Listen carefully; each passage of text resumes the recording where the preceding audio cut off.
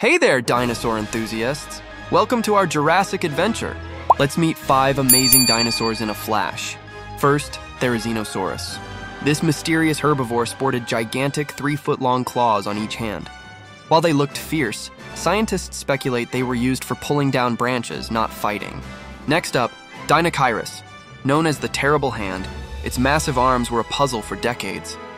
This giant duck-billed omnivore had a humped back and likely ate both plants and fish.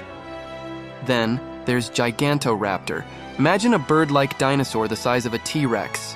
This feathered giant was a fast runner with a powerful beak, but what it ate remains a scientific mystery. Meet Concavenator, the humpbacked hunter from Cuenca. This carnivore had a strange, sharp hump on its lower back and quill knobs on its arms, suggesting it might have had primitive feathers. Finally, the Amargasaurus.